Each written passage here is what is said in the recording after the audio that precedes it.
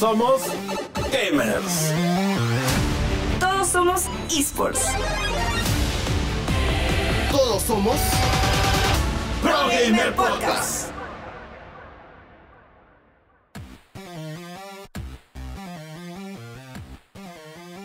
Hola gente, ¿qué tal? Bienvenidos al episodio 70 de Pro Gamer Podcast. Yo soy Leonardo Encajima y llegamos en una nueva semana con más noticias de videojuegos e esports en este su podcast de RPP Noticias.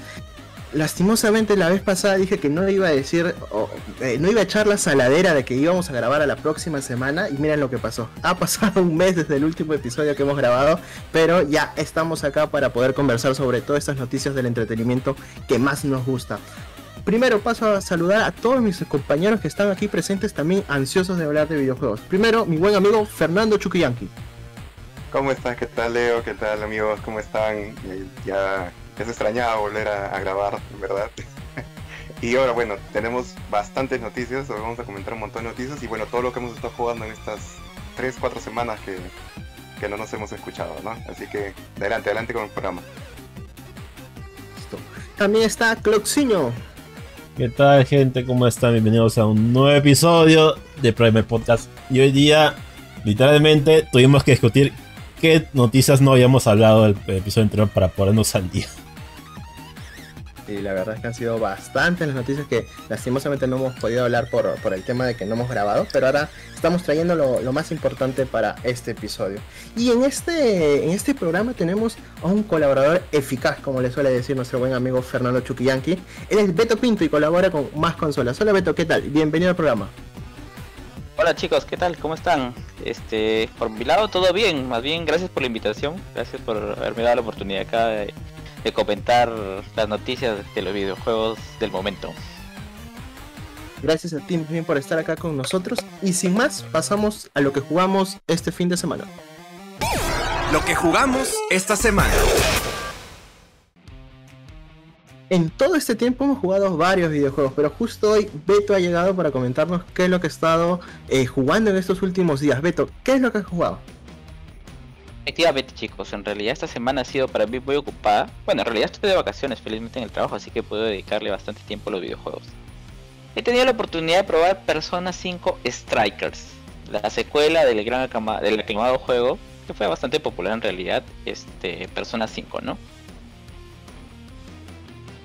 ¿Qué, qué tal, ¿Qué tal es este título? ¿Lo has jugado en PC? ¿Lo has jugado en consolas?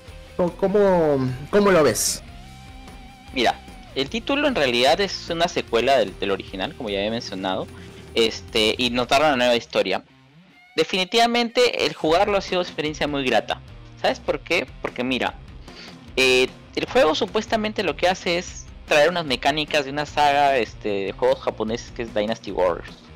En realidad yo tenía mis reservas sobre esa mecánica porque lo que pasa usualmente es que en Dynasty Warriors te meten un montón, un montón de enemigos en una pantalla en realidad tienen un de vida uno y los tienes que ir matando y eso el juego continúa y continúa así. Pero en el caso de Persona, han destrozado todo lo que es el modo de, de, de pelea de por turnos y han logrado hacer un modo de pelea tipo hack and slash que resulta buenazo. O sea, los poderes, el uso de las personas, los ataques, todo se integrado de una manera muy chévere en ese juego. Es cierto, de alguna forma están ahí todavía los, las cositas estas de los mil enemigos. Pero de verdad que ha sido muy gratificante jugarlo y no me he podido quejar. Lo he jugado en PC, eso sí. Valga, la, valga la, la aclaración, ¿no? Qué chévere. ¿Y cuántas horas le has dedicado a este título? Mira, el título es, da para largo, pero yo he ido corriendo un poquito en las primeras partes. Y ahorita ya, ya sí me estoy topando con jefes muy complicados, pero más o menos le da unas 25, 26 horas y sospecho que estaré en un 70% del juego. Eh, no me puedo quejar, ha sido una muy buena experiencia.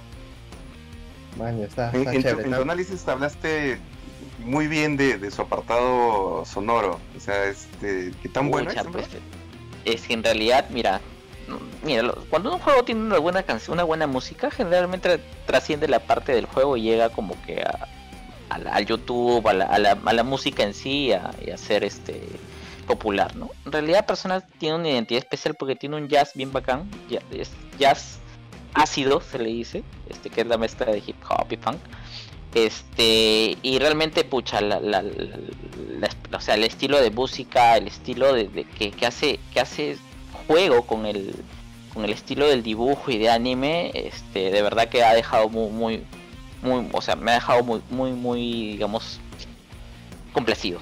Eh, tanto así que es, mira, no te puedes te puedes ir a YouTube, poner buscar algunas personas 5 o- OST soundtrack y vas a encontrar canciones que vas a decir, pucha, estas las pongo en mi celular para escucharlas de camino a la chava o algo así.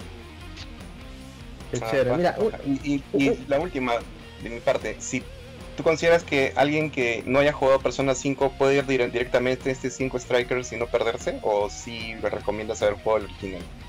Eso tiene un sí pero no. En realidad no puedes librarte de ver la historia inicial, pero tienes la alternativa de agarrar y este, ir a Crunchyroll, este, hacerte socio o ver los anuncios y ver todo el anime de Persona 5 original. Ahí te vas a enterar de toda la historia, no vas a jugar exactamente las, las, las mecánicas, no, no va a tener tanto detalle, pero por lo menos te vas a enterar de qué va la historia y ya puedes mirar al, al Persona 5 Strikers. Y es aconsejable en algunos de los casos, porque no todos les da esto de, de RPG por turnos, ¿no?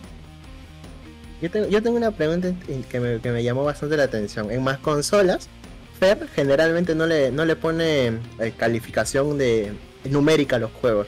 Tú sí, tú sí lo pones. Ahí no chocan ahí cuando, cuando hacen las reseñas. Bueno, en realidad, este, poner una calificación a un juego resulta un poquito más, este, digamos, este, frontal de cara al que te lee, ¿no? Eh, en el caso Fernando siempre deja mucho más al lector, creo, ¿no? Que, que haga sus propias opiniones. Pero en mi caso yo sí voy un poco más allá, ¿no? Y le, le da cierta libertad, bueno, casi total libertad, entiendo yo, ¿no? Y por eso es que de alguna forma yo sí he conservado mi sistema de puntaje, ¿no? Buenazo, buenazo. Ya saben, todas las personas que quieran leer su reseña de Persona 5 Striker está en el blog de más consolas en RPP Noticias. Ya saben, rpp.p slash blog slash más consolas para que puedan leerlo. Gracias, Beto. ¿Qué has estado jugando en estos últimos días? Eh, bueno, yo juego, bueno, les comento dos juegos que estoy jugando y los dos son de Nintendo Switch. El primero es eh, un juego que es un port, bueno, los dos son ports, así que bueno, para que me entiendas. Este, el ¿De 60 primero dólares? es- este, no, el primero sí es baratito, es, cuesta ya, 7 ya. dólares. Es SNK vs Capcom, The Match of the Millennium, que es un port de un juego que salió en 1999 para la Neo Geo Pocket Color, o sea, la, este, la consola portátil de, de, de SNK. Eh, este juego, o sea, yo, yo por ejemplo, cuando ustedes en los 90 sabían pues que los monstruos de los juegos de pelea pues eran Capcom y SNK. de hecho, en esa época había bandos, ¿no? Quienes eran fanáticos de Capcom y quienes fanáticos de SNK. Así que el gran sueño de todos los fanáticos de juegos de pelea en esa época era ver unidos estos dos universos, ¿no? Ya había Marvel vs. Capcom, ya había Street Fighter vs. Este, eh, etcétera. ¿no? Entonces como que el, la, la unión de estos dos universos fue pues notable, ¿no? Marcó un, hito. Pero yo no sabía, yo siempre pensé que el, primer juego era los que salieron en arcades. Pero este, el que fue en Neo Geo Pocket Color, fue el primero crossover entre ambas compañías. Es este. El nombre del juego es The Match of the Millennium. Y como su nombre lo dice, pues junta los dos universos de los personajes en este juego portátil que ya, ya tenía ya este SNK una serie de juegos de todas sus sagas, de Sam Show, de, este, King of Fighters, de Fatal Fury, eh, SNK Golf Fighters también salió este juego de, de- de chicas nada más, que, en los cuales eh, sus personajes eran así, personajes chibi, este, todo bien, bien anime, bien, bien colorido, eh, bueno, acorde con, con el espíritu de la consola en ese momento, pues, ¿no? Entonces, y este juego es así de ese estilo, o sea, si cuando lo busquen, chequenlo y van a ver, el estilo de los personajes es bien gracioso, bien curioso, este, pero no quita que el juego sea, no sea este, entretenido, o sea, es bastante divertido porque todos los personajes tienen sus combos, sus especiales, hay una historia incluso el, de, por qué se unen estos universos. Es este, bien interesante al menos conocer este, esto como algo histórico, ¿no? Porque es uno de los primeros este, crossovers entre ambas compañías que, que, como les dije, pues eran pues el, el gran boom en ese momento, ¿no? Ahora, si eres de los que busca un juego competitivo de peleas, no, este no es tu Mejor para eso, mejor Este busca este- Capcom vs SNK, ¿no? Como Dos. yo, como yo. Así, así es. O sea, si estás ahí metido en, en la jugada de, de- de estar buscando retadores y demás, es- Este juego no, esto es más una celebración de, de, de, ambas compañías. De hecho, es, tiene, aparte de los juegos de pelea, o sea, del propio modo de peleas, digamos, hay un modo que se llama modo olímpico, en el cual hay este, curiosas este, opciones. Por ejemplo, hay una opción en la cual te, este, este, te convierte, se convierte en un shooter el juego, en el cual tú ayudas a, los, a los personajes de, de Metal Slug a destruir a los, a los aliens. Después también tienes una, una, este, una modalidad, este, la modalidad de bonus de, de Samsho, del primer Samsho, en el cual tienes que, que con una katana destruir estos este, muñecos de paja. Ya, esto también está incluido.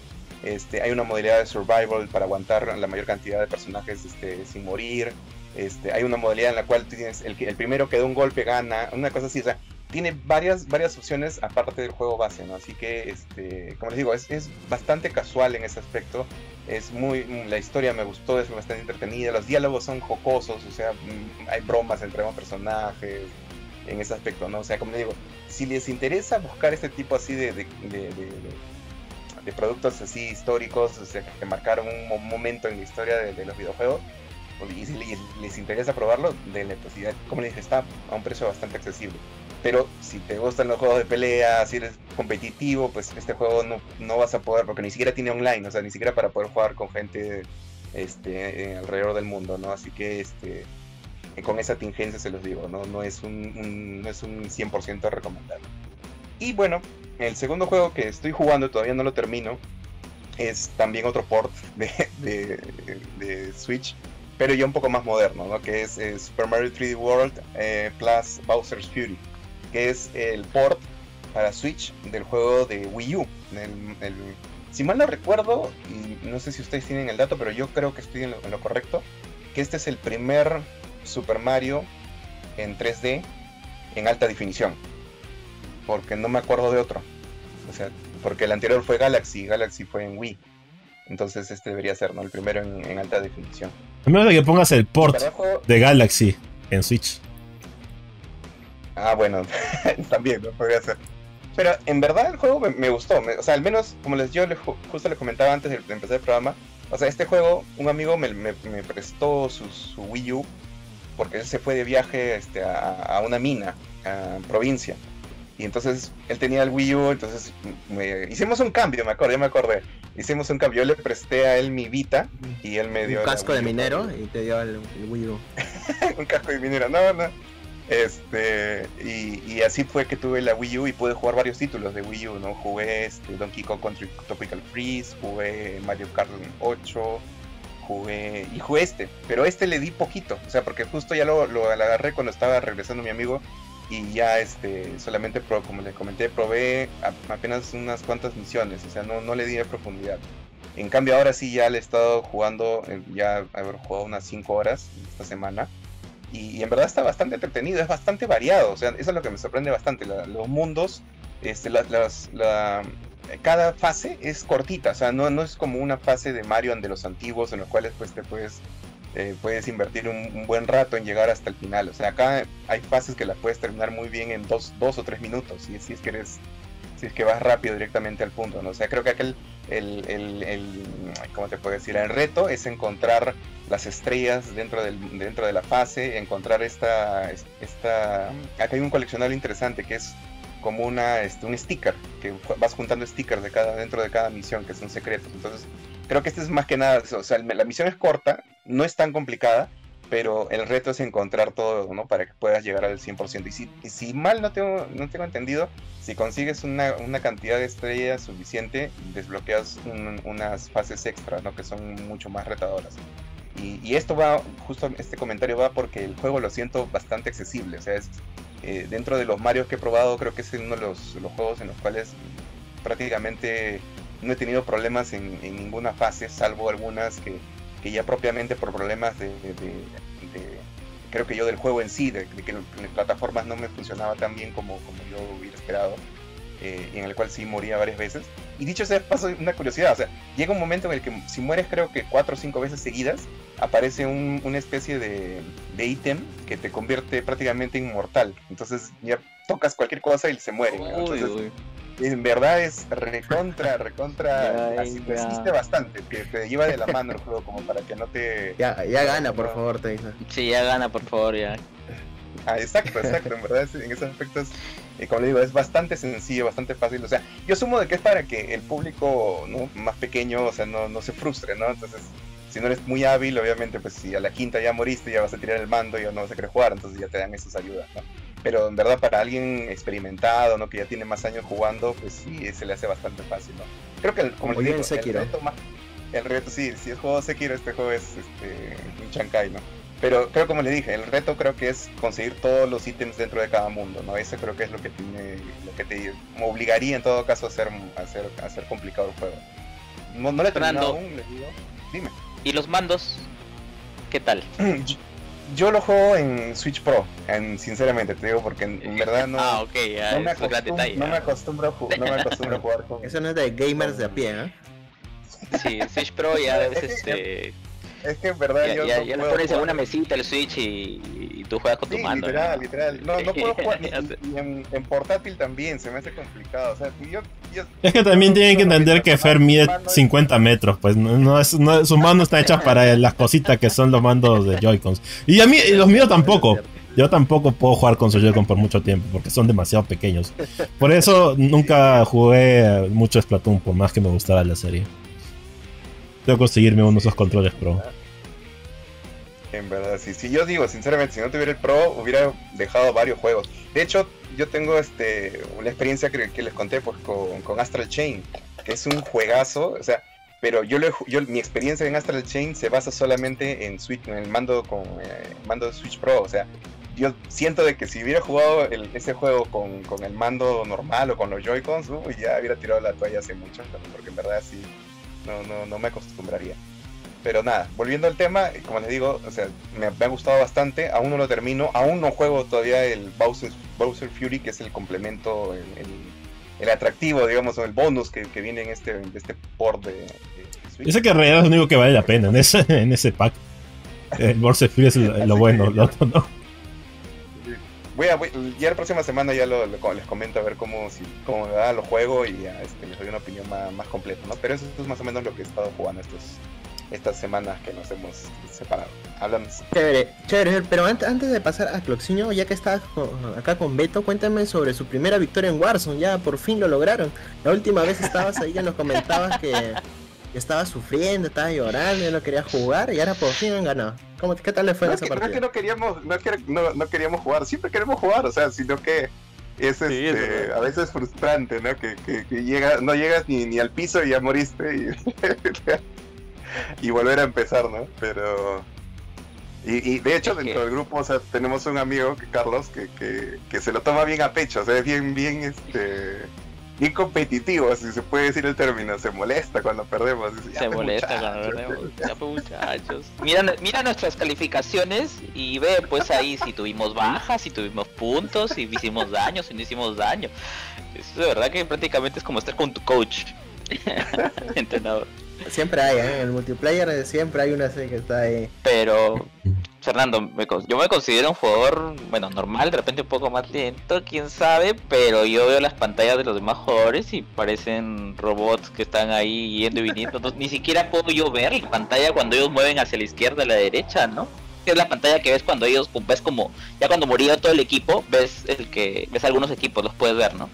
Y es como se mueven, saltan, van, corren, avisan, todo, pucha, que de verdad que es otra, creo que es otra generación también la que está jugando ahí, ¿ah? pero, pero bueno, esa es Sí, un poco verdad la experiencia. A veces sí te das cuenta y dices, pucha, ¿cómo, cómo logran hacer todo eso? ¿no? O sea, nosotros que En un segundo, jugamos bastante, pero dentro de todo somos casuales, ¿no? O sea, lo hacemos por, por diversión, si llegamos bien, si no también, ¿no? Pero, pero sí, eh, hay equipos que coordinan de una manera, o sea, de hecho a veces cometemos el error clásico de quedarnos en un solo sitio y viene un equipo entero y, oye, coordinan y entran por el techo, por una puerta, por la otra y nosotros estamos ahí en, en nosotros cruzado, ¿no? ahí, como el como en tómbola, haciendo, corriendo entre círculos, ¿no? Pero se logró, pues lo importante es que se logró en la... Sí, se logró, se logró, y, Sí, sí. pero ahora lo que falta es este conseguir otra, ¿no? comprobar, Una- una comprobar que no sea un chiripazo. no haya sido suerte. ahí, ¿no? Ajá. Ojalá para el próximo episodio ya tenemos la segunda victoria en Warzone de, de los muchachos. Flo, ¿qué has jugado en estos últimos días? Bueno, increíblemente he estado jugando bastante, más que nada porque han habido un montón de cosas nuevas que han salido para todo el juego de pelea que toco. Pero he, to- he jugado dos, bueno, he terminado un juego que nunca había terminado antes y también estoy volviendo a re- retomar, bueno, no retomar, pero estoy regresando otra vez, supongo que a, volver a probar, volver a jugar otro juego que jugué hace tiempo y que solamente tú sabes, pero siempre tienes las ganas. Pero dices, "Oh, ¿qué tal si juego Max Payne por, por, vez, por vez número 3 esta vez? ¿no? Como que tengo ganas otra vez. O sea, de que ya está bien. Primero, el primer juego que jugué, que por fin terminé, y honestamente no esperaba que sea tan bueno, fue Evil Within 2. Ahora, entonces, Evil Within 1 estuvo regular. Más que nada como que hubo un montón de problemas en cuanto a las mecánicas porque la mayoría de ellas eran como que una, una combinación de todo lo que era juegos de terror y todo se unía y al final no, no, no sentía de que, de que algo destacaba. Bueno, Evil Within 2 se las arregló, pues arregló todo ese problema y se siente como un juego más enfocado y con, con un- con un- un- una meta más, más clara y en realidad ayuda mucho más al juego en cuanto a lo que quiere lograr. Ah, también como este juego no creo que esta vez fue no fue dirigido por Mikami, solamente estuvo como, como, como productor, que obviamente creador de Resident Evil tiene mucha influencia. Ah, definitivamente Evil Within 2 se juega, se, todavía se siente como el juego más Capcom de Bethesda hasta ahora. Es, bien- extraño, tiene, tiene unas cuantas detalles bien raros. Por ejemplo, hay una parte en donde el juego supuestamente te regresa a la- al lugar del juego original. Y ustedes se acuerdan de que, de que el Evil Within 1 por alguna razón tenía esas barras de, de widescreen que estaban dentro del juego y te obligaba a jugarlo así. Y bueno, con todo detalle y todo le regresaron las barras de widescreen solamente por, por- porque son retrones ahí. Es, buenísimo, es, es- un buen, es un buen chiste. Pero en, en cuanto a la historia, la también está, es mucho mejor. Ah, es acerca de, básicamente superar los traumas que fueron del primero. Y creo que ayuda bastante porque no siempre odian cuando, ha- cuando tiene a un personaje que obviamente está, está traumado por alguna razón y siempre y siempre la historia como que trata de hacerle trata de hacer de culparlo al mismo personaje acerca de sus propios problemas y, eh, pero y, y Evil Within 2 hace absolutamente lo opuesto, en donde lo que debería hacer es que el personaje mismo se da cuenta de quiénes son, de que en realidad él no tuvo, en realidad su- sus problemas son causados por otra otras cosas que no, no es él. Y o sea que tiene que dejar de martirizarse por cosas que en realidad nunca tuvo control. Y eso creo que es, un, es una historia que no hemos visto en mucho tiempo. En especial, en especial te estoy viendo a ti, final de WandaVision. Pero bueno, pues entonces terminé Wolverine 2, me, me gustó final, bastante. buen final. Le- sí, fue el final. Le, le di un 8.5 ya, 8.5, porque no es increíble, no es, no es un 9, yo nunca le pongo 10 a algo. Pero sí está, está muy bueno y no entiendo todavía por qué es que la gente se olvidó tan rápido de ese juego. Como que siento que solamente apareció un mes y ahí se olvidaron. No lo sé, pero es muy bueno. Honestamente, jueguenlo. Es mucho más entretenido que el, que el primero, donde solamente se siente un montón de cosas confusas. El segundo lo puedes entender muy bien. Las mecánicas te da tiempo para que juegues y todo lo que quieras. Y muy satisfecho con haber pagado mis 5 dólares de oferta en Gamergate. A ver, y también el segundo juego que también regresé porque ya era hora, pues ya siempre hay el, siempre el bichito que te pide, que es Batca- Batman Arkham Asylum, el primer, el primero de la serie. Que no hay, no es que no me guste Arkham City, pero creo que Arkham Asylum tiene todavía un, tiene ese Metroidvania todavía que lo hace mucho más, más interesante como juego. Y he estado jugándolo, no lo he terminado todavía, me he estado haciendo todos los retos posibles de- de Riddler, que ahorita no me acuerdo cuál era el, el nombre en español. Acertijo. El acertijo, está, estaba pensando en el incógnito por alguna razón. Y es todavía divertido. El juego como juego todavía está bueno. Es bueno. No, no, no pierde nada porque es un juego viejito. Loca, las gráficas, uff, no, no, ahí sí, ahí sí hablamos otras cosas. Las gráficas, Dios mío, es como regresar a jugar Gears of War 1. Es la primera versión que he visto de, de Unreal en toda mi vida. Uff, uff. En especial ese, el foliaje, las plantas en el juego, uff, ni hablar, ni hablar. Y tampoco me gusta mucho el, look de Batman en ese juego, porque en, esa, en esa versión del juego Batman se es como 3 metros y está súper mamadísimo. Y honestamente, es, cuando lo veo así a Batman me parece que es más como un psicópata con, traje. ¿ya? empieza a dar, y empieza como que quizá está demasiado, demasiado bufeado, como que se nota que quizá ya es demasiado violento. Por eso es que por eso es que siempre que juego Arkham City siempre me pongo el skin de, de Batman de la anima. Me gusta más. No es tan mamadísimo. Como que no, se ve como que fuera una fuerte. Porque nunca, para mí Batman no es una. No es necesariamente una persona súper violenta, pues no es. Es el detective, pues no es alguien que debería verse como que alguien que puede pensar, pues no, no, no un. No esteroides. O el hombre esteroides tampoco, ¿no? Y el problema es que todos, todos los personajes en esa serie, en ese juego, están con súper. Se han metido súper, súper las. Los, los anabólicos. Ves al, al. Al comandante Gordon, pucha, también está mamadísimo y le salen las venas por todos lados. El único que está flaquito ahí es Joker. Y también, obviamente, parte del juego es escuchar todo lo que dice Mark Hamill, toda su actuación es, es, un placer porque es, es, su momento, literalmente. Tienes que escucharlo todo el tiempo, tienes que saber todos sus chistes y todo, decirlo todo. Y también todavía aprecio el hecho de que cuando te toca hacer los, los acertijos del acertijo, a medida que más acertijos hagas y a medida que más desbloquees en el juego, cada vez lo, notas como que se molesta cada vez más como que se siente cada vez más insultado y cada vez pierde más el control.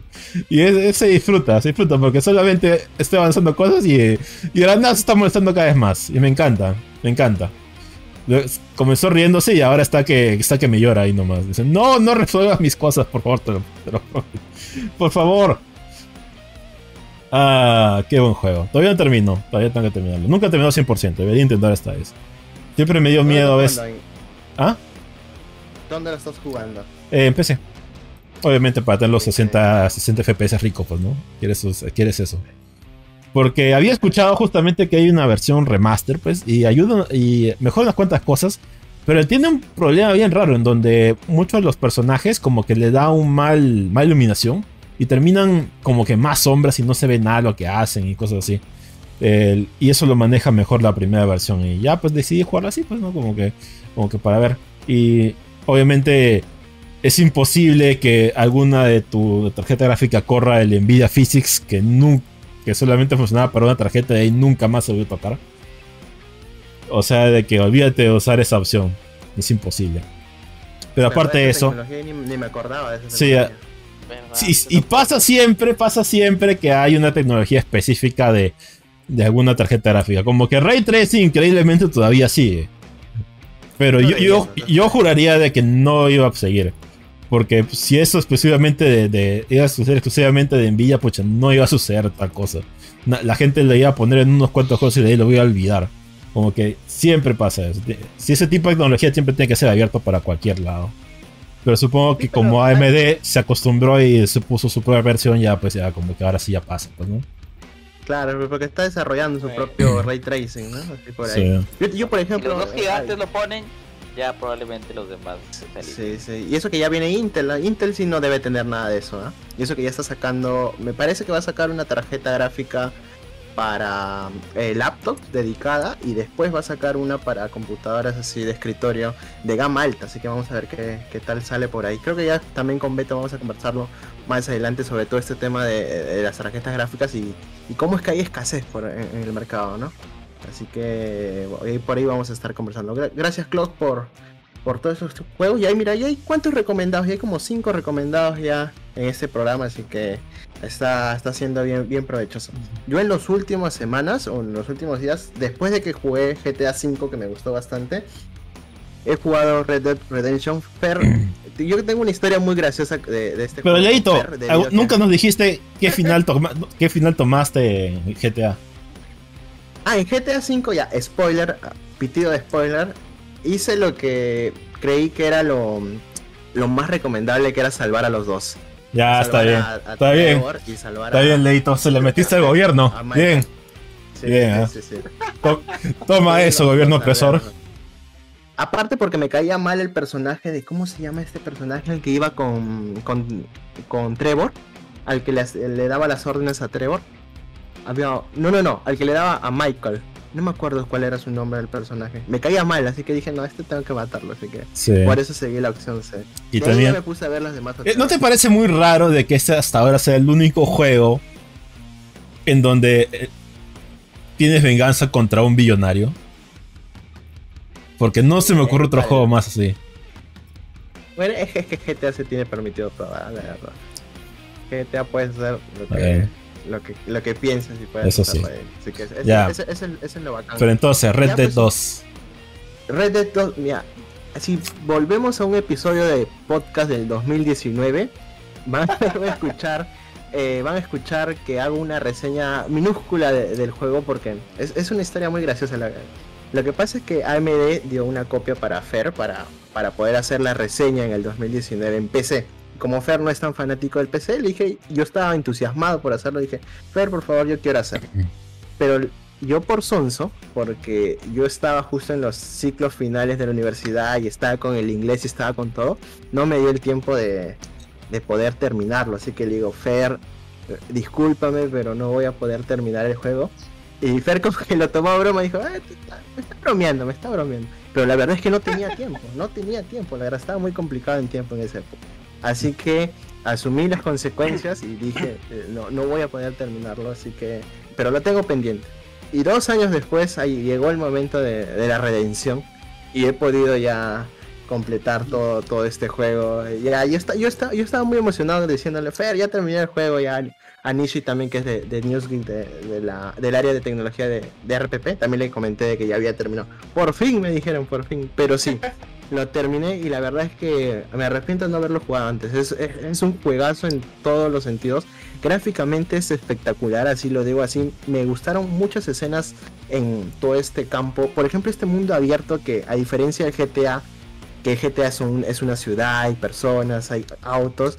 En el, en el mundo abierto de Red Dead es campo, pues es, es, este, montañas, es bosque y hay de vez en cuando algunos jinetes ca cabalgando por ahí, pero se siente muy vivo, o sea, ves a los animales corriendo libremente, la misma física de los árboles con el viento, o sea, realmente me encantó este videojuego en lo gráfico, en lo sonoro mucho mejor.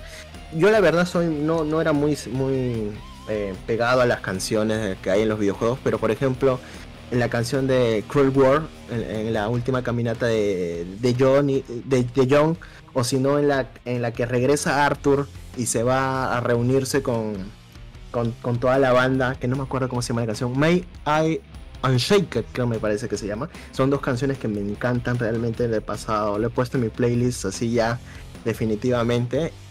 Lo que sí tu, tuve unas dudas fue con la historia, ¿ya? Porque la historia como que me, pareció muy, muy lenta al inicio. Como que no me atrapó al instante. O sea, tuvieron que pasar, ¿cuántas horas? Unas 5 horas, 6 horas para que realmente empiece a meterme ya de lleno a lo que es este, esta historia western. Y como un día le comenté a Fer, otra vez, pitido de spoiler, justo cuando llegas a, a esta guerra de, de, familias en, no me acuerdo cuál es la ciudad, en, eh, no recuerdo exactamente el nombre de la ciudad, pero justo cuando roban a, a, a, Jack, que es el, o a Jake, el hijo del, de John, y va toda la banda al castillo de los Braithwaite a recuperarlo. Esa escena, sin mentirte, no me di, no me di cuenta que estaba entre un juegazo hasta que llegó esa escena. De ahí cuando termina, queman el castillo, queman la mansión y, me di cuenta que estaba en un punto de no retorno ya. A partir de ahí empecé a dedicarle horas y horas y horas y horas así de seguido porque me atrapó tanto la historia de que ya no podía dejarlo jugando a puchitos, no. En un par de sentadas ya me iba de corrido con ese juego. Y la verdad es que no, como les digo, es, es, una, es una obra muy buena de Red Dead. Creo que es uno de los mejores de, toda esta generación. Ahí ya tengo que probar el, God of War para ver cómo es que le gana el, el GOTI en el 2018 a, a Red Dead. Pero la verdad es que para mí es uno de los mejores de, de todos estos últimos tiempos. Así que ni más, ahí me, ya una vez que acabó la historia, como que me quedé bien, bien triste. Ahora sí lo que quiero jugar es el Red Dead Redemption 1 que está en Play 3 y en Xbox 360 me parece. Ahora tengo que conseguirme una de esas consolas para jugarlo. Y nada, la verdad es que ha sido una experiencia muy buena y, el que pueda, que se lo recomiendo que lo haga de una vez. Así que háganlo, la verdad es que hay muy buenos momentos, muy buenas canciones, gráficamente es muy bueno. Así que pura, puro, puro comentario positivo tengo ante este título. Y ahora que ya acabé este juego. Creo que solamente lo único que agregaría es que, aguanten esas 5 o 6 horas iniciales. Que no, no es que no sean buenas, sino que son pesadas, o sea, es lento. Sí, sí, sí. Como que te va cocinando ahí cómo son todas las mecánicas y todo. Entonces, es un momento en el que dices, ah, esto no, no es para mí, porque no hay, no hay mucha acción. Pero una vez que pasa eso y ya te suelta en el mundo abierto, ya el juego se convierte en otra cosa. Y, como coincido contigo, es de los mejores, si no el mejor de la generación. Sí, es, muy cierto, pero es, es raro, ¿no? Porque esos cinco, esos cinco horas iniciales, como que no hay mucho tiroteo. Me parece que hay uno en, Valentine, así, con las justas. Pero como que es bien pausado, es como para que te, te muestren eh, el, las gráficas, un poco de la historia como una introducción pequeña, de cómo se van forjando esos lazos. Ah, y algo que me olvidaba eh, mencionar es la evolución de los personajes. El personaje principal que es Arthur evoluciona de una manera muy, muy, muy eh, convincente y muy emotiva, igual que la del líder de la banda que es Dutch. También evolucionan, hay como un cruce, uno que es relativamente bueno y otro que es relativamente malo empiezan a cruzar los papeles, pero lo hacen de una manera muy convincente con la historia. ¿sí? Hay misiones que realmente vas viendo cómo de a poquitos uno se va convirtiendo en bueno, el otro se va convirtiendo en malo, así, en, lo que nos muestran. Y así que al último te das cuenta toda esa evolución del personaje desde que comenzó en la travesía hasta, hasta el final y es, magnífico la verdad. Y ahora, ya después de, de echarle flores a Reddit, estoy jugando Transistor que es un título indie que salió en el 2015, 13, uno por ahí que es medio musical y que es por... Eh, puedes... Eh, he jugado poquito, no he jugado mucho, he jugado una misión nada más. Y que, me parece interesante, es que tiene sus propios ataques tipo...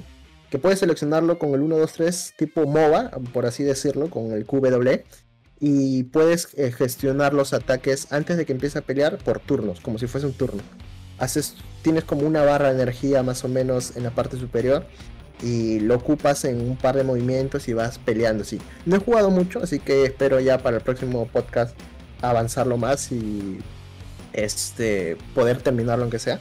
Pero sí, ya desde de manera inicial tiene muy buen soundtrack. Me ha gustado así. Para tan poco tiempo que he jugado, tiene un, sonido convincente y los gráficos, su, estilo gráfico es muy bonito. Así que ya les voy a estar comentando de eso. Y, sin más, ya después de haber conversado bastante sobre lo que hemos jugado en estos últimos eh, días, vamos a pasar con la sección de noticias. Actualidad Gamer. Listo gente, entonces antes de comentar con las noticias de las últimas semanas, no de la semana porque ya han pasado varias semanas, eh, vamos a responder las preguntas que nos dejaron en los canales de Telegram que tenemos, en uno que es Pro Gamer y otro que es Newsgeek, también el de tecnología. Así que vamos a contestar sus preguntas. Primero, Luis Gutiérrez. ¿Cuál es el juego que más esperan en este 2021 y el siguiente juego que planean jugar? Eh, gracias Luis por tu pregunta, pero no nos has escuchado en el último podcast que hemos hecho porque justo hablábamos de los juegos que más esperábamos durante este año. Eh, vamos a preguntar acá a cada uno de los muchachos para ver qué es lo que más esperan. Yo de manera inicial te digo que espero Elden Ring, pero la verdad es que ya le he hecho tierrita y no pienso, no, no creo que vaya a salir este año. Eh, ya hubo en estas últimas semanas hubo filtraciones, hubo todo y se ha dicho que incluso eh, esa una transmisión que iban a dedicar al juego iba a ser cancelado hasta nuevo aviso, así que yo pienso que mediados de año recién vamos a conocer algo oficialmente de este juego y no creo que salga este año. Así que por el momento eh, hay, porque me falta jugar God of War, así que el God of War de este año también no creo que lo vaya. Voy a intentar jugar el, el pasado, el de 2018. ¿Y cuál es el que planeo jugar? Por el momento, Transistor. A ver, muchachos, ¿ustedes qué, qué juego más esperan este año? No sé quién quiere comenzar por ahí. A ver, Fer. Bueno, yo, yo, yo te digo que justo lo comentaste, o sea, uno de los que yo más espero es el God of War Ragnarok, pero al igual que el de Ring, o sea, dudo mucho que salga este 2021. ¿eh? Por pese a que ya le pusieron el rótulo el, en, cuando lo presentaron, en verdad dudo mucho que salga este año. Es este, uno de los juegos que no que tengo expectativas, pero que sinceramente soy consciente de que no, no creo no creo que lo veamos este año. Eh, el otro, el COF 15, como ya les comenté desde hace varios, varios programas, que me generado bastante hype. Que ahora va a tener rollback. Ahora sí ya dijeron que va a tener rollback. Uf. Sí, confirmado. Y este y bueno, y de lo que voy a jugar, que, quiero jugar recientemente y que voy a jugar este, es este Crash Bandicoot 4 eh, para Switch. Me lo han pasado, así que voy a probar qué tal se ve en la versión de, de esta consola, ¿no? Que, que, del juego del año pasado, que sinceramente me dejó muy buenas sensaciones, este, un, un gran retorno de Crash al, a los videojuegos y vamos a ver pues cómo, cómo le va en Switch, ¿no? Chévere. Beto, ¿qué juego más esperas este año? Estoy esperando desde hace bastante tiempo y felizmente llegó es Nier Replicant, el remake de Nier este, para PlayStation 3. Eh, en realidad es un juego que estaba esperando. La verdad que yo descubrí Nier con el automata este, pero y quedé tan, o sea, me gustó tanto que en realidad me puse a investigar sobre los juegos antiguos y justo cuando eso empezó eh, encontré que iban a hacer un remake de Nier Replicant. Ese es el juego que estoy esperando, felizmente sale en abril, o sea, ya está cerca. Poquito nomás. Y aquí nomás, la vuelta de la esquina, otro que también estoy esperando, pero bueno, que también sé que va a tardar es el Final Fantasy VI que ahora lo dirige Naoki Yoshida, que es el patita este de, que sacó adelante Final Fantasy XIV, que hizo la versión 2.0. Y también tiene el director de batalla de DM Cry 5. Claro.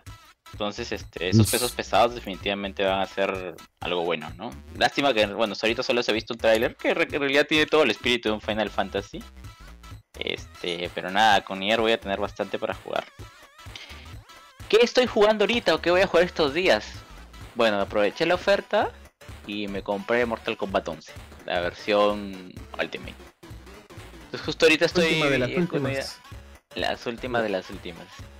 Justo ahorita estoy en la historia, este, ya estoy, ya, ya estoy por el final de Aftermath. Este, ya, ya incluso estoy en la parte donde creo que tienes que escoger, o para el bien, para el mal. Este, pero estoy pucha, ahorita el nivel de customización que tiene, que entiendo la hereda un poco de Injustice, porque creo que a la gente le gusta. Este, estoy acá ahí haciendo mi propio Scorpio y grindeando, pues, ¿no? Porque este juego sí tiene grinding. Creo que es un grinding que ha mejorado a lo largo del tiempo, ¿ya? Porque creo que antes te daba mucho menos de, de plata o de, de, la moneda del juego este mientras ibas mechando, ¿no? Ahora creo que te dan más. Eh, y estoy en eso. En realidad estoy bastante ahí enganchado con Mortal Kombat 11. El problema que tiene este juego en cuanto a grindeo es el problema de que no te da mucho cuando juegas online solamente. Lo que quiere ese juego es obligarte a hacer las torres. Pero la idea de jugar un juego de peleas es jugarlo contra versus, en versus, pues, ¿no? O sea que debería darte. Debería yo, el modo historia debería darte el modo versus. ¿no? Y como que el juego trata de, de jalarte a modo historia cada vez más modo historia cada más, sí, es cierto. Bueno, pero por un lado yo no lo veo tan mal porque es una alternativa para los que no quieren meterse tanto en temas de competitividad. Bueno, no sí, sé pero... Cuál, cuál será el escenario com competitivo de Mortal Kombat 11? Pero me suena que ellos no van tanto por ahí. ¿no? Pero... Bueno, sí, pero sí, lo que sí, iba a decir es de que para la gente que quiere jugar competitivo como que no va a tener obviamente menos recompensas que la gente que, que tenga que solamente ah, juegue. Sí, de hecho todo caso en, en, ambos, pues no lo hubiesen puesto por ahí, para que todos puedan aprovechar el... Eh, es que también, este es el detalle, Leito, el, el, juego está hecho para, literalmente está hecho para que inviertas un montón de horas en él. Porque esa es una métrica que también usan para, para, los, para los, los, inversionistas. Dice, mira, este juego ha sido jugado por tantas horas, por tantas personas. O sea que ese, ese, es el problema también. Y la cripta, pucha, que es un, es un RPG destinado a que te gastes todo lo que tienes por conseguir. Es como loot boxes. O sea, las, las criptas son loot boxes. O sea, abres tu cofre y te sale tu. Pero tu obviamente, de, la idea es que en vez de pagar dinero, pagas con tu tiempo. Sí, pues eso es cierto. Pagas con tu tiempo. Pero llega un punto Vale. donde deja, o sea, yo, por ejemplo es divertido. Lo importante es eso. Igual las torres tienen algún cierto, tienen cierta, cierta intención, ¿no? Hay una torre que es todo Johnny Cage en sus diversas formas y justamente Johnny Cage te tira sus trofeos para debilitarte, o sea, de alguna forma sí se risa, ¿no? Pero este Nada, por ahora me está yendo bien, excepto que quiero pasar la crítica y quiero sacar todo, pero a mí sí me estoy demorando porque hay otro tipo de moneda que es los corazoncitos, que es así demoras. Ah, sí, olvídate, esos corazones Un, son- fata- Sí, un sí. fatality por cada fatalities por cada cinco corazones. Es que sabes cuál es el truco real. El truco real es te haces un bot agresivo y lo mandas a que trabaje en las en las torres. Y el bot cada vez que gana hace un fatality. Claro. Sí, pues esa es la, esa es la jugada. Secretos del grindeo acá con la gente. Secretos del grindeo. ¿qué- ¿Cuáles son los juegos que más esperas para este año y cuáles estás por jugar o quieres jugar próximo? Ya, manito, dame ese Guilty Gear Strive, ya lo, ya lo quiero ya. Ahorita, ahorita. todos, todos los que hemos probado nos hemos quedado estúpidos y hemos dicho que ahora que es mi vida sin Guilty Gear Strive. Eso, es lo- eso es lo que queremos. Y también obviamente Resident Evil 7, pero no como... No, 8, Resident Evil 8. pues, El- el- es el obvio, ocho, el pues, es obvio, pues, ¿no? Aparte de eso, nada más ha llamado mi intención, mi, mi- nada más me ha llamado la atención ¿Cuándo sale tanto, tanto. 8, ah? Creo que próximo mes, ¿no? Ya tiene fecha de lanzamiento. Debe estar cerca, sí, tiene fecha de lanzamiento, sí. Está cerca. A ver, Resident Evil 8 sale en. A ver, ¿cuándo sale? ¿Cuándo sale? Sale el 7 de mayo de 2021. Ya faltan Uy, dos meses. nomás. Uy, Uy, ese toque. nomás con Nier también. Uy, Ya la mujerón. Cerquísima, cerquísima. Bueno, Luis, gracias Luis por la pregunta y vamos con otro de Gerardo Sullón. ¿Qué les pareció el Nintendo Direct? Eh, gracias Gerardo por la pregunta. Bueno, si han pasado justo exactamente esa semana íbamos a grabar, pero por complicaciones no grabamos. ¿Qué les pareció el Nintendo Direct? La verdad, Oh. para mí, Si eres Eh, fan de los JRPGs, saliste ganado. Si no, todo el mundo dormido. me, me- me pareció, a mí me pareció muy, muy, muy ok nada más, porque, o sea, más allá de los personajes de Smash, que ya lo va a comentar a Cloxiño más adelante, ¿qué, qué hemos tenido? Por ejemplo, el Splatoon 3 solamente fue Ah, eso sí. un, un vistazo eh, bien, como bien superficial, o sea, no, no hubo gameplay, no hubo nada, pero eso sí, fue sorprendente. A mí me sorprendió porque yo no lo esperaba. Y eso que hubo una lista de filtraciones antes, ¿ah? Que cumplió todo. ¿Te acuerdas, Clock? Que te pasé la lista de Ah, filtraciones. sí. Y eso que tú sabes que. Eso que tú sabes, Leito, que a Nintendo le, le encanta hacer un juego por consola de cada serie. Como que pensabas de que una de Splatoon 2 ya salió para Switch. Ya, eso ya es todo, ya, ¿no? Como que. Aunque puede ser que el Splatoon 3 salga para la rumoreada Switch Pro. ¿Quién sabe? Ah, quién sabe. Así que podría, andar por ahí, ah, no sé, acá no- nos deja para, para conversar eso. Bueno, ¿qué más hubo ese, en ese Nintendo Direct? Hubo un juego de Star Wars, de Hunters, que era. que dijeron que era para Switch y para celulares, que era multijugador online. Eh, ¿Qué era? Era shooter, me parece. Eh, pu- puede ser, pero no, no hubo más adelantos también aparte de- del vistazo inicial que hubo. Es para. y es canónico, así que puede ser que justo con toda esta onda de Mandalorian, eh, de- de- que, que hay bastante efervescencia por Star Wars, puede ser que quieran, quieran entrar por ahí. Y después hubo eh, la versión remasterizada de Skyward Sword de The Legend of Zelda, eh, del juego de Wii, que, que era el, el- creo el plato principal de ese, de ese Nintendo Direct. Ah, su Eh, qué pena. ¿Le alegró a la gente? Sí, Ah, su qué pena. alegró, varios. Es que honestamente Y- Skyward Sword es como que el el más, más o menos de todos los Zeldas últimos. Eh, Sí, pues, ese fue para Wii U, ¿no? Me parece. Sí. Para Wii U. Así que ya, pues como... No, es de como Wii, creo. Fer- De Wii. Ah, no, sí fui, sí fui, sí fui. ¿ah? Sí fue, Wii, a de ver. Wii. Sí. Ah, sí, es de Wii, es de Wii, es de Wii. Con el Motion Plus. Explicaron justamente cómo iban a adaptar ese, ese mecanismo a, la- a los Joy-Cons. Eh, un- bueno, le dedicaron buena parte del tiempo. De ahí otro juego que de esa, de esa presentación no me acuerdo. Creo que fue, como les, les digo, un Nintendo Direct correcto. O sea, como que no hubo tanta Espérate, sorpresa. espérate. Yo quiero que quede en el registro que no apareció Metroid Prime 4. Nada más, gracias. Lo siento, es que de verdad. Es Vas, vas a decir eso todas las veces. Vas a decir eso todas las veces. Sí, sí, voy a decir esto. Este juego ya, ya, Es ya ya lo borraron, ya dijeron, ya está bien tonto. Ya, ya ese juego, ¿no? Ese juego no, pas- no pasó de no, no pasó del PSD que hicieron para hacer el logo. Sí, no, Parece que. No, pero, o sea, que pero ya eso, en- eso justo quería, sí, justo eso quería decirles, o sea, que, que yo considero, o sea, como dice Leo, o sea, fue ok, ¿no? Pero es que creo que más, más ok que por el, por lo, con lo que mostró es por lo que se esperaba de él, o sea, era un Nintendo Direct después de que más de un año creo que no había un. Nintendo Direct, Desde Entonces septiembre del con la- 2019, parece. ¿ya ves? Entonces había mucha expectativa, o sea, la gente esperaba, pues, como dice... Ah, espérate, ¿no 4, anunciaron los 3. Pokémones ahí también? Ah, no, eso fue en su Nintendo, ah, eso fue en su el día separado. siguiente, Ah, su, el día siguiente. qué dolor. Este, y, y- o la secuela de Breath of the Wild, ¿no? O sea, o sea, no, este, anuncios fuertes, ¿no? Y, y no hubo, pues, entonces como que por eso creo que la expectativa era demasiada para lo que se mostró, ¿no? Sí, sí, la verdad es que sí, hubo, hubo mucha expectativa y mostraron muy poco, la verdad. Así que ya, bueno, pe- pero eso también nos pasa a nosotros por tener expectativa.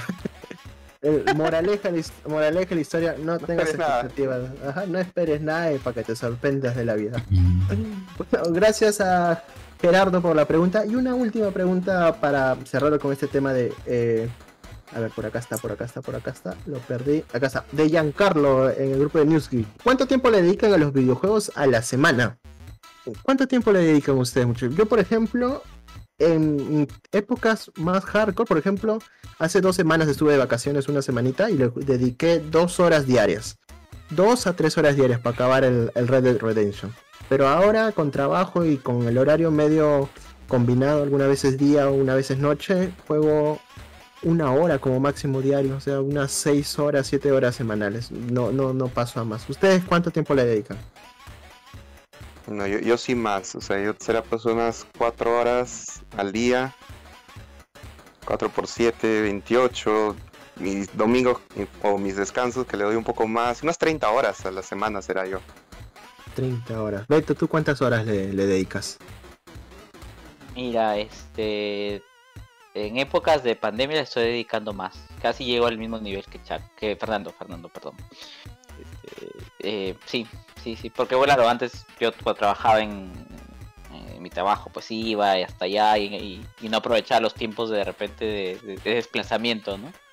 Pero ahora sí termina mi hora pues, y ya me doy mi, mi saltito a, a mi sala para poder jugar un ratito. Sí, es- ese, ese es lo bueno del, del teletrabajo. Sí. Estás ahí ya, te ahorras el tiempo en movilidad.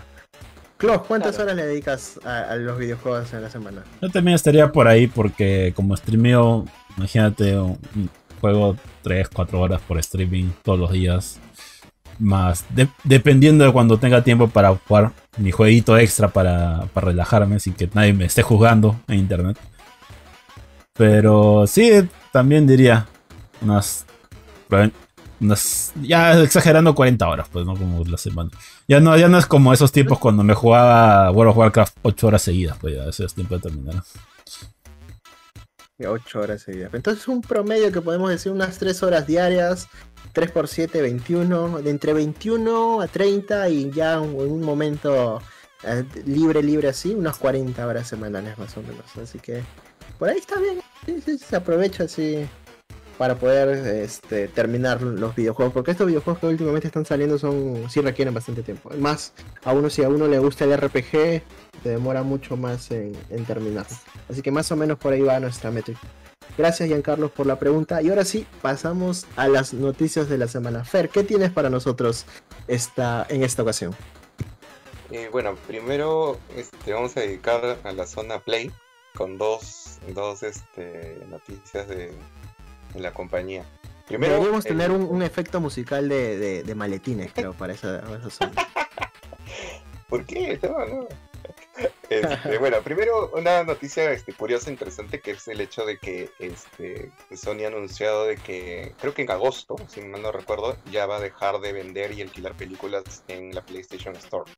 Este, lo cual me parece lógico porque, en, el PlayStation puedes, puedes ver Netflix, Amazon, Disney y todo, entonces eh, como que solito se boicoteó, o sea, ¿no? O sea, este, tiene el, ¿quién, quién alquila o quién compra una película si puedes streamear en todos esos servicios este, ¿no? de una manera mucho más económica, ¿no? Entonces, este, y, y más aún, creo que este servicio, si mal- o sea, yo nunca lo he usado, o sea, no sé si alguien de ustedes lo ha llegado a comprar o alquilar una película, pero... Yo ni sabía que existía, la de- no, sí, sí, yo sí sabía que existía, pero, pero creo que está bloqueado por IP, entonces, este, por ende, si compras una película o, o alquilas una película... Sí. No, no, ¿detecta puedes verla.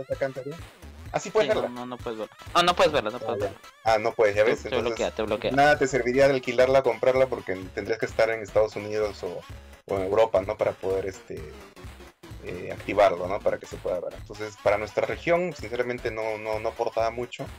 Y como les decía, ¿no? El servicio de tiene, tiene toda esa competencia en todas las, demás aplicativos de, de streaming que, que hay, ¿no? Así que me parece lógico, ¿no? Hasta cierto punto, ¿no? Y lo único bueno, en todo caso, es los quienes han comprado, alquilado, se han comprado, perdón, no pierden, no van a perder su película, va a seguir ahí en su, en su disco duro, ¿no? Mientras lo tengan.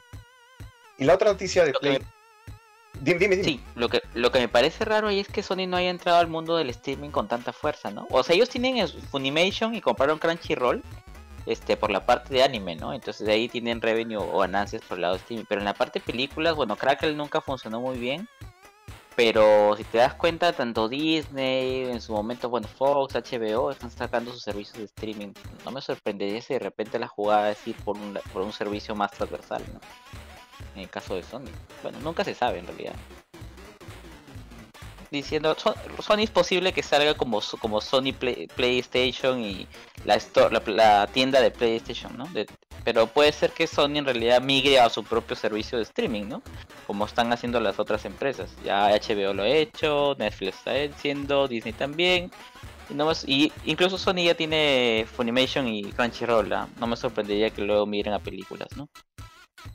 Sí, pues, Podría tal vez ser, el primer paso. Podría ser el primer paso de, de verlo en futuro, ¿no? Su Sony Plus, ¿no? Algo así, o no sé cómo le llamarían. Ya, Me ya la hay- ya- Me parece que hay uno, pero solamente para los televisores Sony. Me parece que hay un, un modelo de suscripción. Me parece, sí. Eh, Ah. Pero para a nivel general no, no, ha, no ha iniciado todavía. Sí, pues. Pero el que faltaría bueno. sería Google, ¿ah? Google también creo que te viene su servicio de películas, pero no sé qué tan popular sea.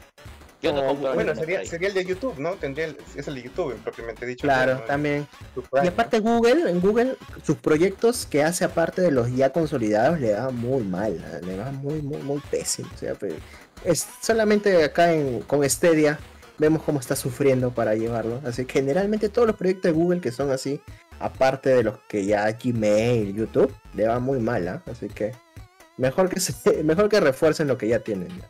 Pero incluso creo que Google está, le ha ido mejor que Amazon, que en realidad Amazon ya pasó así, tuvo un pequeño fulgor en el mundo de los videojuegos y ya se pagó.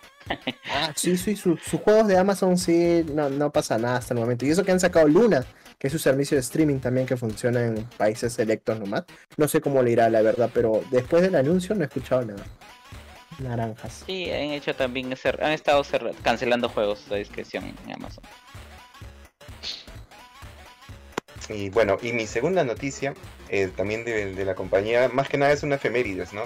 Es que el 4 de marzo se celebró los 21, a- se conmemoraron los 21 años del lanzamiento del PlayStation 2 en Japón, ¿no? Que es, marca un hito de recordar porque hablamos de la consola más vendida de la historia, ¿no? Con más de casi 160 millones de unidades, entonces es un hito en la, industria, en la industria de los videojuegos que hasta ahora no se ha podido igualar, ¿no? O sea, la Play 4 creo que la van a alargar su vida útil por lo menos unos 2, 3 años más para que llegue a siquiera acercarse, pero no creo que llegue a las 160.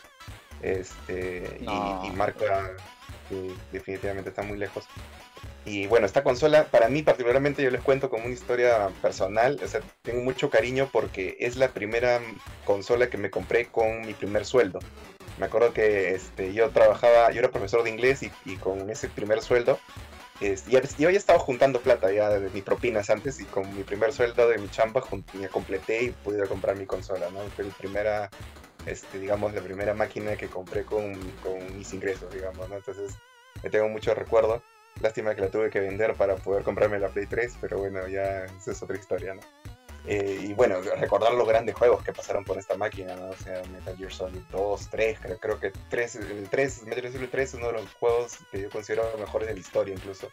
este, Ico, Shadow of the Colossus, el, el gran Fumito Ueda, eh, no sé, pues se me van a escapar un montón de títulos. Es, es una gran consola eh, y hasta ahora, ¿no? Hay eh, los remasterizados que salen de, de, de, ella hasta, hasta la generación pasada dan a entender, pues, ¿no? De que de toda la influencia que ha tenido, ¿no? Así que vale la pena recordar este, esta máquina en los chicos, este, Leo, Nishi hicieron un, un, un, buen especial ahí en, en, en Pro Gamer que hay varias notas así de recuerdos de los mejores juegos, los juegos más vendidos, así que dense una vuelta ahí por la por, por Pro Gamer y, y chequen esas notas.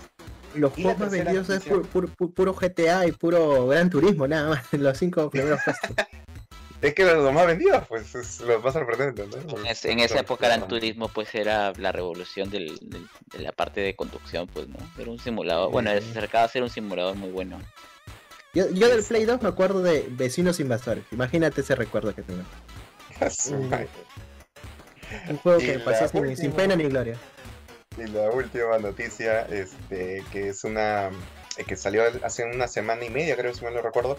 Epic Games uh, anunció la compra de Mediatonic, que es la, la, el estudio desarrollador de Fall Guys, ¿no?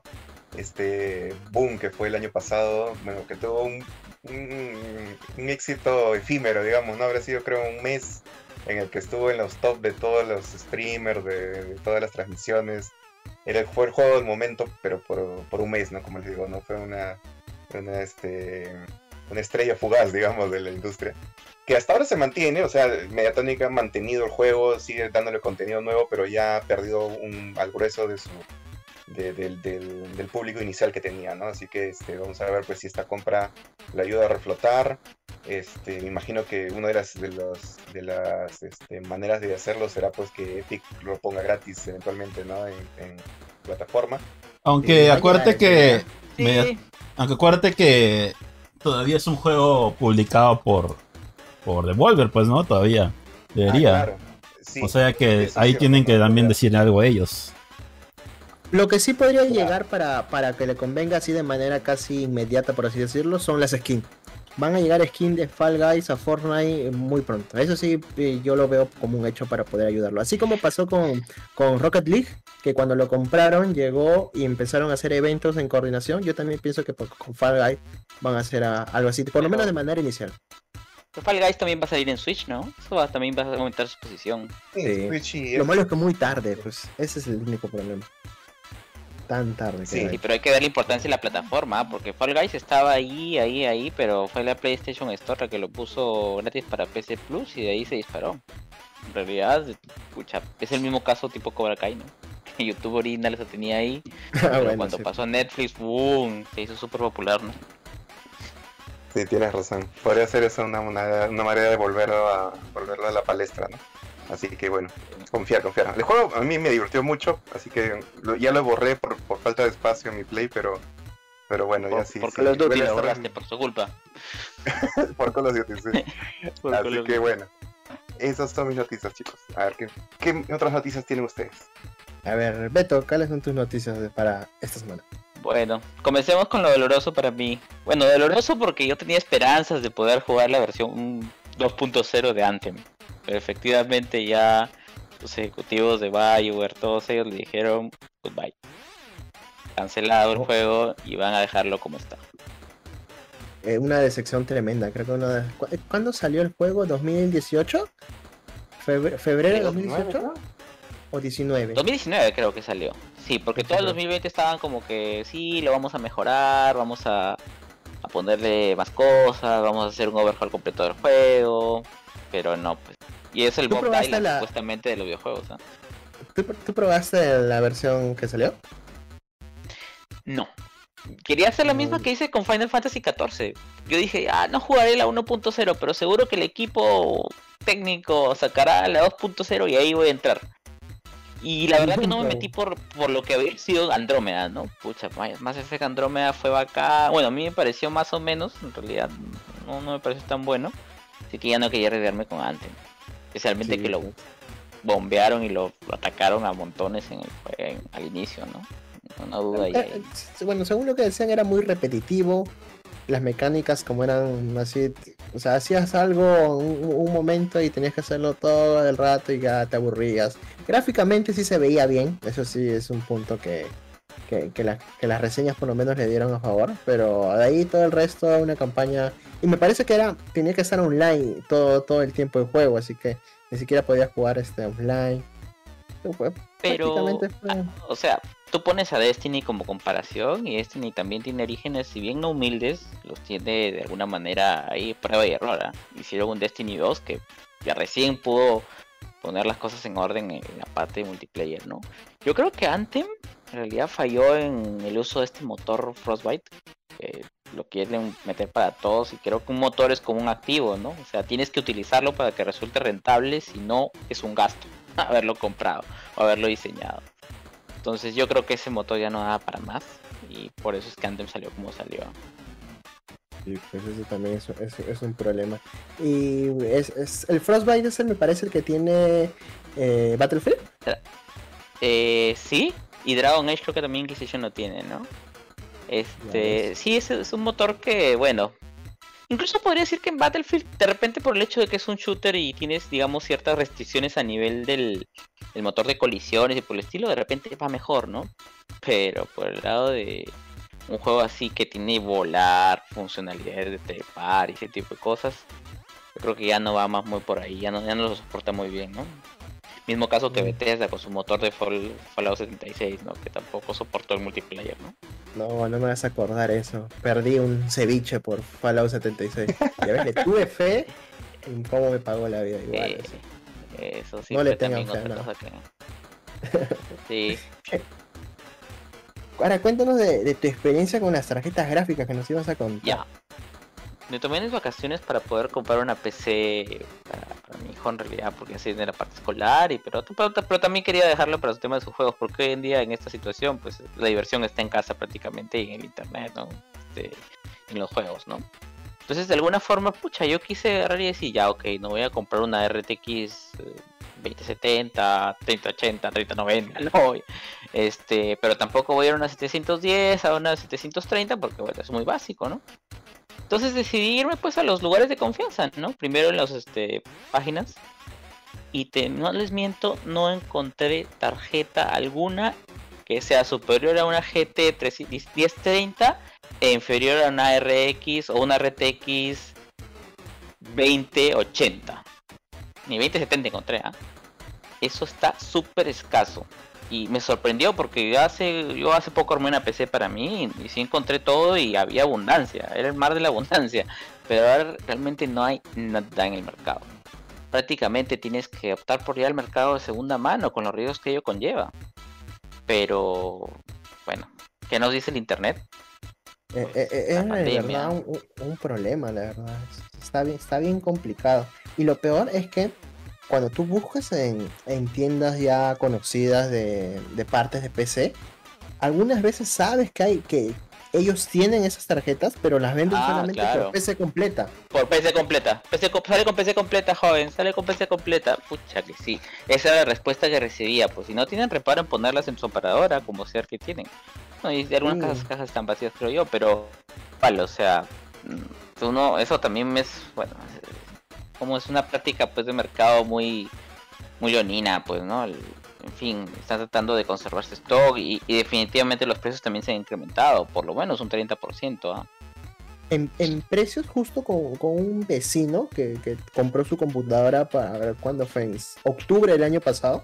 Más o menos te cuento que, por ejemplo, la 1660 Super estaba, en ese tiempo estaba a un valor de 1100 soles, más o menos. Claro. Ajá. Ahora lo encuentras de 1400 a 1600, Ah, 1700. 1600, 1700. correcto. Con suerte encuentras algunos modelos que venden las mismas empresas, esas que te digo que generalmente tienen, pero los venden a PC completa. Con suerte lo puedes conseguir en un rango de 1200 a 1300, pero solamente sacan tres unidades, por así decirlo. Y vuelan al toque. Vuelan, Y al, toque. al toque. La 2060 estaba un valor de 1600 o 1500 el más el modelo más, más básico, más económico. El 2060 es eh, la, la edición normal. Ahora, cincu- ahora ya no hay. El primero que Ya no hay, de, nuevas, ya no hay. absol- absolutamente. Ese sí ya no hay en ningún lado. Solamente encuentras en segunda mano y su precio está en 1800 para arriba, 1900 para arriba. 2070 no he visto. Y la 20, 2080, 20, y creo que sí hay, pero está en un valor de 3000 soles más o menos. Así. Es, es- es terrible. Un. Play 5. Lo- Solamente lo- la claro, tarjeta gráfica. Sí, solamente la tarjeta gráfica. Y lo, y lo cierto es que pareciera que los distribuidores acá no tienen tanto peso en el exterior, porque revisando el internet, ahorita lo que está abundando, o sea, nosotros estamos en la 1030 como, como, como de repente este estándar local que sí hay, ¿no? Pero en el exterior es la 1050 Ti la que está por lo menos en el límite inferior que, que se está, está vendiendo. Pero eso ni, ac- ni eso, acá ni no tenemos ni eso. Y y con- es- por ejemplo, con una defin- 1050 Ti puedes jugar tranquilo a varios títulos, así, pero ni siquiera eso. Claro. Es que esa es la que justamente yo estaba buscando, la 1050 Ti más o menos para tener algo que sea relativamente decente en 1080p, ¿no? 30, 30 FPS para arriba en 1080p, ¿no? En algunos juegos, ¿no? Obviamente ultra, ¿no? Este, en, en ninguno, ¿no? Pero este eh, no, no está, no está en ningún lado. Y los, sí. bueno, las criptomonedas son el cuco aparentemente, ¿no? Que se han subido de precio el Bitcoin y la gente los está minando, ¿no? En sus granjas de minería.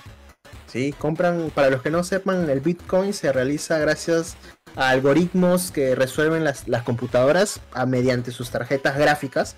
A la gente, muchos de los que ya se dedican a esto, lo que hacen son acumular tarjetas gráficas por montones, así una granja, he visto imágenes de 50 para arriba, tarjetas, ¿ah? así conectadas Sí, sí. en filita, las Como 30, una grilla. 90, Ujú. sí, toditas así en, en fila y empiezan a hacer, empiezan prendidas todo el día.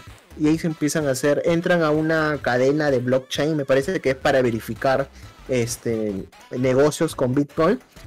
Eh, la persona o la tarjeta que lo resuelve, eh, me parece que genera un código que verifican las demás computadoras que están en ese bloque. Si es correcto, te pagan con un, te pagan con, un con- porcentaje con monedas chiquito. Bitcoin.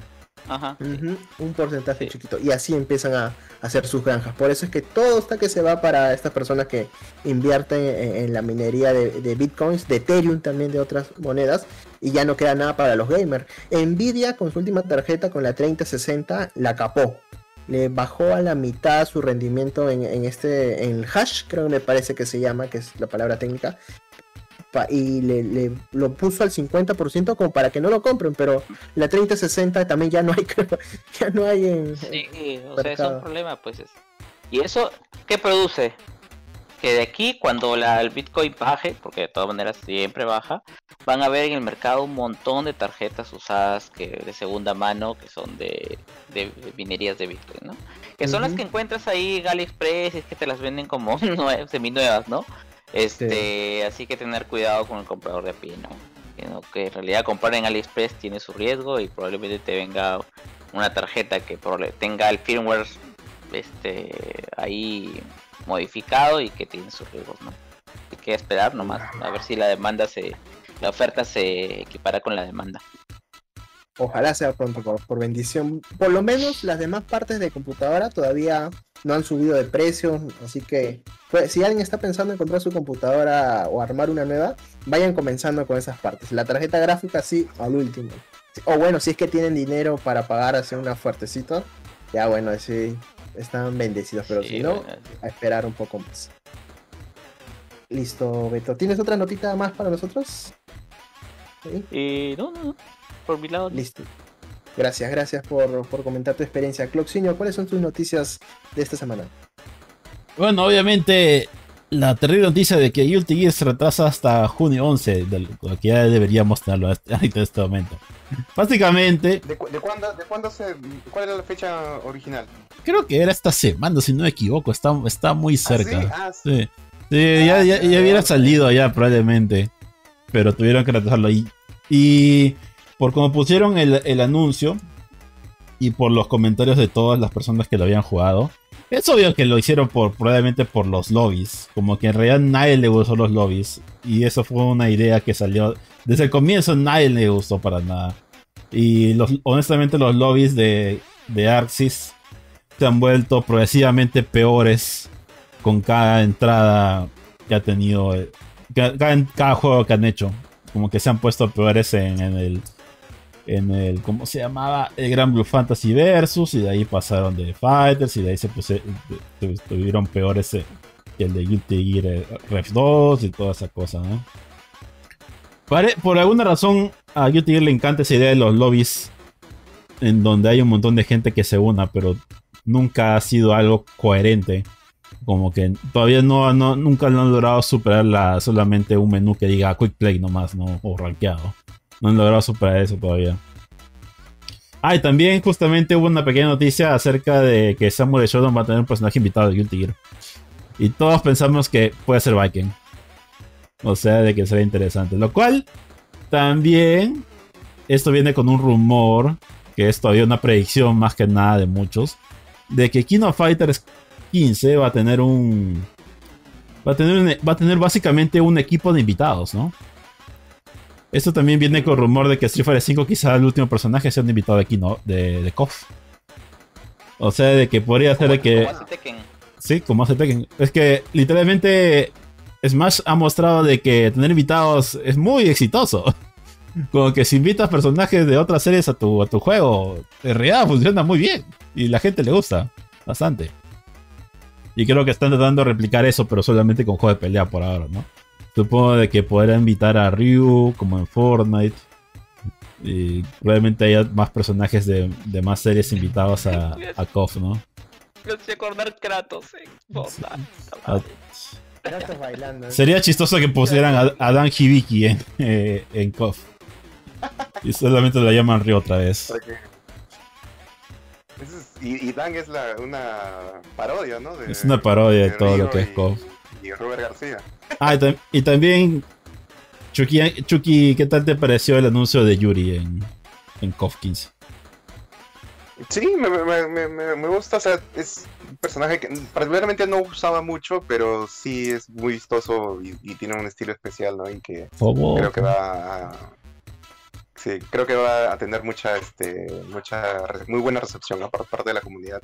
Ahora lo que quiero saber es más que nada, como tú dices ahora, estos invitados, ¿no? Ya me, has dejado con esa sensación. Sí, eso, es lo que estamos pensando, porque honestamente, en todas estas, en todas estas reuniones de, de, de developers de juego de pelea, Kofa ha estado bien amigues, amigues con todos, ¿ah?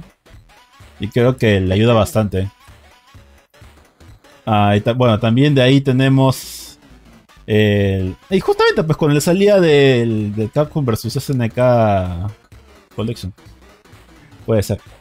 A ver, también de ahí tenemos otra noticia más de acerca de por fin el anuncio de Diablo 2 Remake. Que increíblemente se ve muy bien, a diferencia de todo lo que nos ha dado la historia de Blizzard últimamente. Se ve muy bonito, la verdad. Se ve uno a uno con el original, ¿eh? como que no hay. No hay mucho que haya cambiado, pero se, se ve bien, pero mejor. Pero se ve. Pero, se no va a ser como el tráiler de Warcraft Reforged. Que no, ahora también se veía muy bien. pero el juego que salió no fue tan bien. Bueno, supuestamente ya hay gente que lo ha, lo ha, jugado. Pues he visto uno, justamente el día que salió, vi unos videos de gente que le habían dado la prueba. Ah, ok, ok. okay. Y han dicho de que, de que sí está, está, está perrón. Ahora, este Diablo 2 lo está haciendo la gente de Vicarious eh, que compró Activision, pues, ¿no? Que hizo el bueno, siempre, pero siempre le, siempre le, siempre le perteneció, pues, ¿no? Claro, pero ahora como ya lo compró, ahora han pasado, ¿se acuerdan esa noticia? No me acuerdo si lo comentamos en el último podcast en el que lloramos porque Activision lo compró como tal para que haga proyectos propios de, la compañía, ya no para que haga sus, sus, videojuegos aparte, sino para que ingrese a trabajar directamente en sus proyectos que ya tenían. Porque me parece que ese Diablo 2 ya había un modelo y después lo... Eh, creo que lo, habían dos grupos trabajando y este último, el que hemos visto es de, de Vicarius, me, me parece, no recuerdo bien exactamente. Lo, lo, que estamos viendo es parte del trabajo de ellos, así que un poquito más de confianza al equipo al que hizo Reforge, que Reforge sí fue fue malísimo, la verdad. Que tuvo malas decisiones en todos los sentidos. Y ahora, algo también que, que, es interesante comentar es que esa BlizzCon fue mala. O sea, no presentaron Overwatch, absolutamente nada de Overwatch. Y eso que Overwatch es su videojuego se supone estrella, porque ya mataron a StarCraft 2, HOTS ya no tiene escena competitiva, Hearthstone está pasándola mal. Warcraft, bueno, Warcraft todavía sigue con sus expansiones, también presentaron una expansión, bueno, un, más DLC, por así decirlo.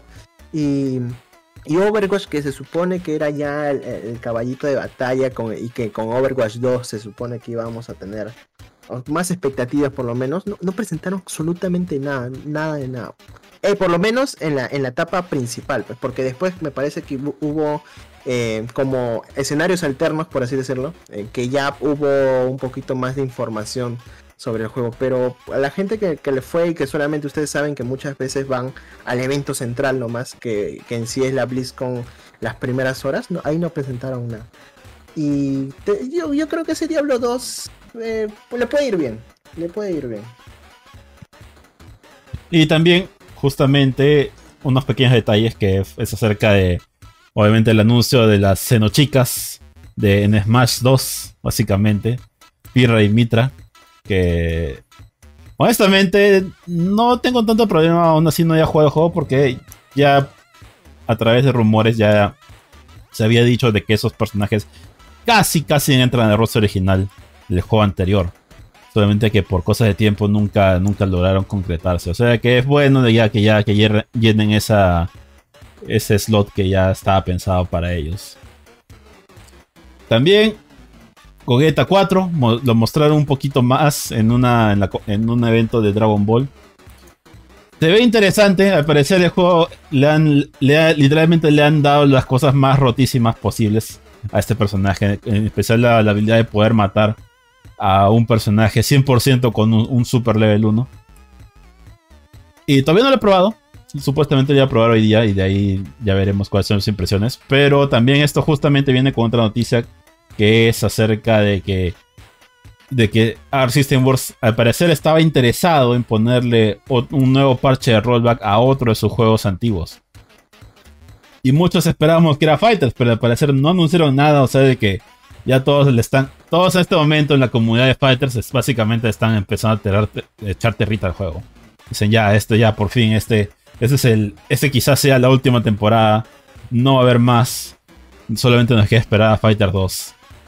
Y es un detalle difícil porque el problema, más que nada, ahorita es de que Fighters, como digamos otro juego con, que me encantó mucho y conocido, que es Marvel Capcom 3, es un juego creado de otra franquicia, pues no es un, no es un juego que le pertenece al desarrollador, es un juego que pertenece a Dragon Ball en general, y en este caso Bandai. Y eh, si le quisieran, en realidad, si quisiera ponerle un parche rollback al, al, Fighters, legalmente no puede. Como que legalmente Bandai Namco tiene que decir, tiene que dar el sí ellos no pueden, no, no pueden estar atados de mouse, no se puede hacer nada porque no es su juego. Es, es quizás su juego, pero no es su franquicia. O sea que no tienen el, poder de hacer de tomar esa decisión. Y por desgracia. Pero, pero, ya lo.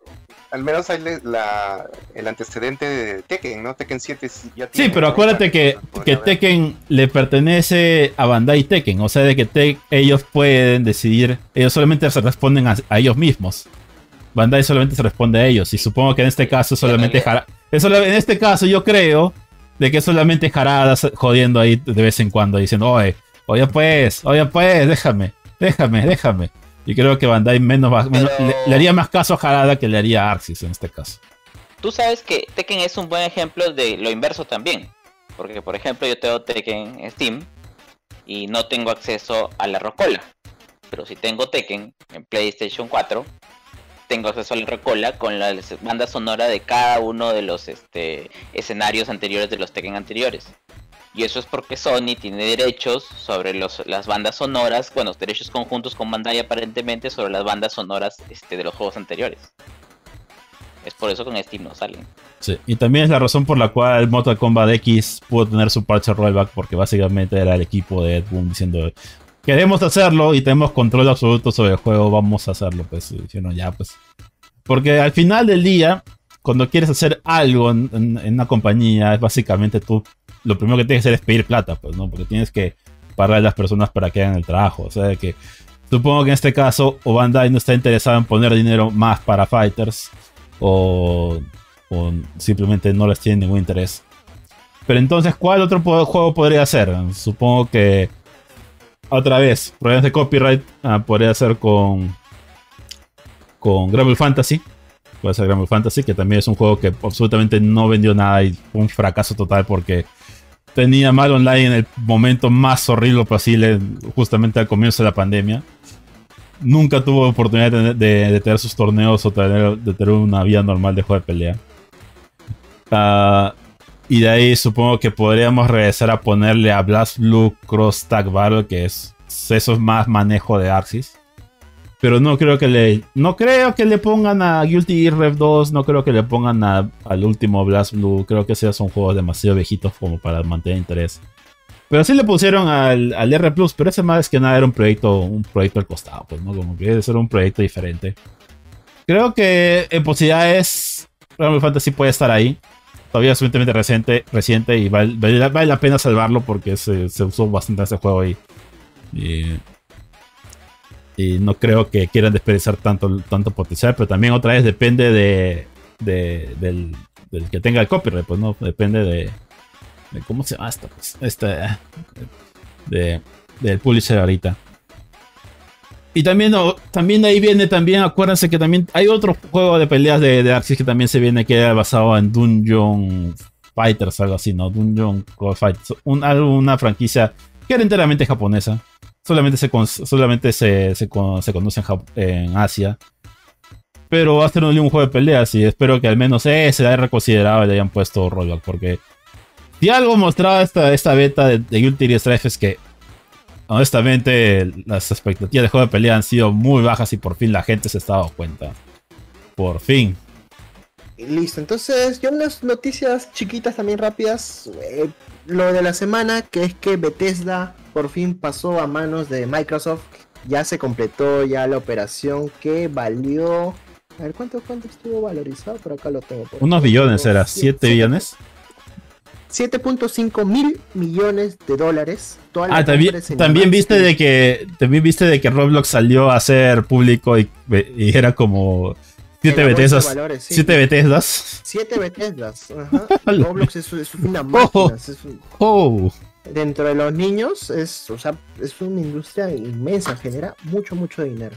Y bueno, Zenimax eh, pasa con Bethesda Software, Arkane, con Machine Game, ID, ID Software y Tango Gameworks. Y ahora lo que han dicho ya, lo primero que habían dicho es que no iba a haber, por lo menos no habían entrado mucho por el tema de los exclusivos, pero ahora han dicho que sí va a haber exclusivos, pero para todas las plataformas que tengan Game Pass, es decir, van a llegar a Xbox Series X, a Xbox One pero también a PC. Así que los jugadores que no tienen una Xbox van a poder igual disfrutar de los juegos de Bethesda eh, en PC gracias al, al, Game Pass que justo hoy también anunció. Hoy estamos grabando un jueves 11 de marzo. eh, anunció que llegan 20 juegos de Bethesda que están eh, Doom 1, Doom 2, 3, el 64 y Eternal, no el del 2016.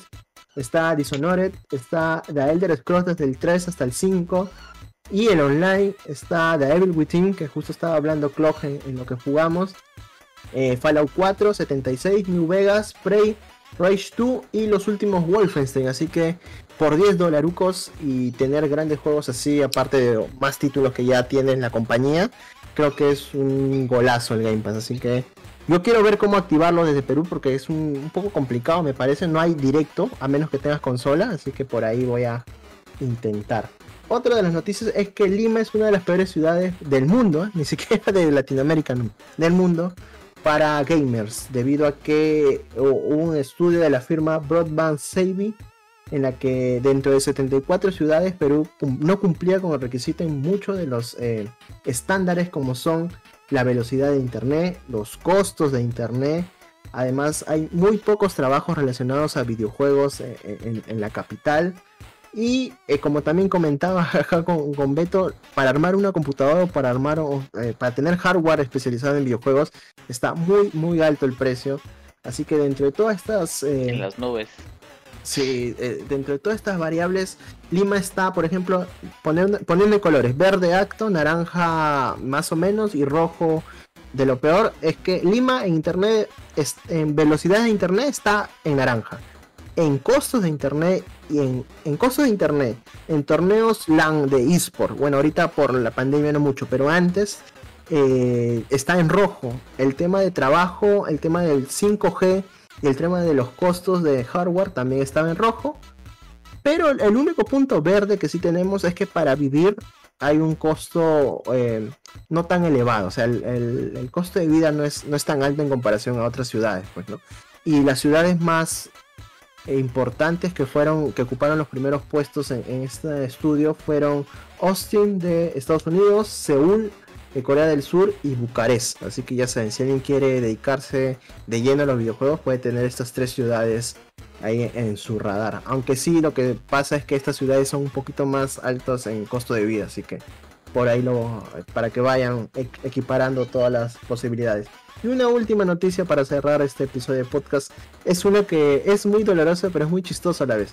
Que salió una analítica de Twitch, que es esta importante plataforma de, de transmisión de videojuegos y nos dice que a pesar de que han aumentado los canales de videojuegos en español, el 90% de los streamings solamente tienen 3 espectadores. Solamente 3. O sea que si tú tienes de 3 para más, estás dentro del selecto grupo del 10% de... O sea que si tú tienes 3 laptops, entonces pues superas el máximo, ¿no? Sí, si tienes ahí tu celular, tu, tu, televisor, un par de lactos, ya superaste al promedio. Y, es curioso, ¿no? Porque ahora y ustedes saben que con la explosión, que con eBay, con tantos streamers que ganan bastante dinero, aparecen cada vez más personas que intentan ese, ¿no? Porque tienen, tienen pasión, tienen, eh, eh, quieren dedicarle el tiempo a, a, esto, a transmitir videojuegos, pero tienen que saber que es muy difícil también. Es un mercado que es complicado, no solamente por saber jugar, tienes que tener también bastante agrado con el público, tienes que tener eh, una serie de factores más como el carisma también, así que ya sabes, si llegas a pasar, si llegas a pasar a los 6 espectadores, por ejemplo, estás en el 5%. Ah, su máquina, es increíble. No, no pensé que más. Si tienes 29, si tienes 30 personas en tu stream, estás en el 1%, imagínate. Así que esos son los datos interesantes que tenemos en, cuanto a Twitch.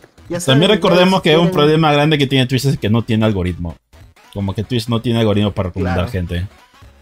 Te, tienes muchas más, posibilidades de crecer si te vas a YouTube o, Facebook. A Facebook. Sí. Cualquiera de esos te va a ayudar mucho más.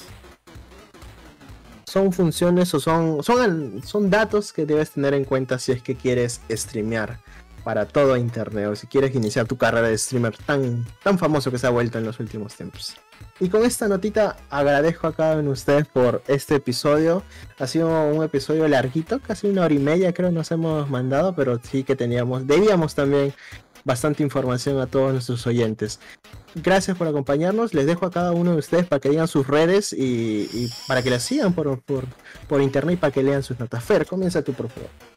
Eh, bueno, gracias por la invitación. Este... ¿Cuál invitación, Fer, si eres de la familia? sí, sí, es otro despido, otro despido. Nada, este, chévere volver, chévere volver después de un, mes. Este, y nada, eh, gracias ahí por escucharnos a todos los que están por allá. Y a mí en mi caso, si me quieren leer las notas, entran a la web de RPP, rpp.p, se van a la sección blogs y ahí te encuentran más consolas, ¿no? Ahí tengo análisis, rankings, opiniones y demás, ¿no? Y aparte en Facebook y Twitter también me encuentran con más consolas, ¿no? Y mi, mi Twitter personal, arroba Cuídense, nos vemos la próxima.